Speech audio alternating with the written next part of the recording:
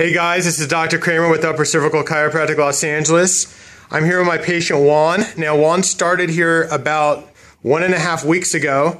Juan uh, basically came in with some neck pain, back pain, uh, some numbness in the heels of his feet, and uh, had some uh, chronic fatigue, low energy.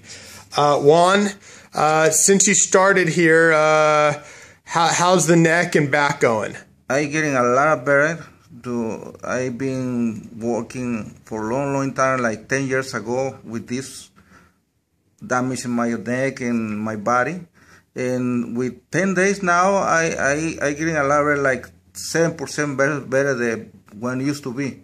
Now, now, Juan, uh, you said you saw chiropractors. Oh, yeah, yeah. I've been massage therapists. The way I tell you, I've been working with this with a lot of people around, try to help me, and I never been in this condition now, and I spend a lot of money too, because you know nothing is is free. So in in long in longer period of time, I pay thousands of dollars. No, no, just more than that.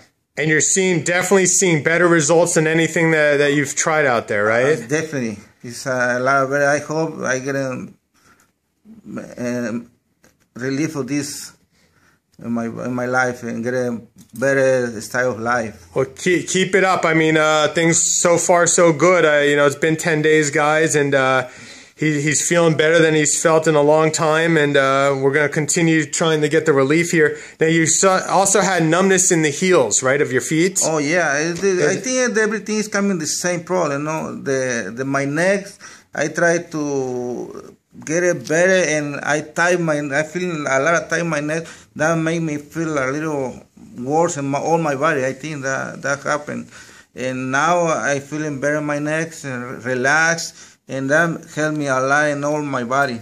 How about the numbness in your feet I and the feel, heels? Uh, definitely better. Definitely. A lot better. Yeah, fifty percent more better than it used to be. Okay, and uh, the, your energy levels, your chronic fatigue. Uh, oh yeah, always. Uh, and half the day I feeling asleep. Always I was I was driving. I almost fall asleep, and I try to open my windows to wake up and be uh, be awake. Yeah, now I feeling a lot better. Awesome. All right. Thanks a lot, Juan.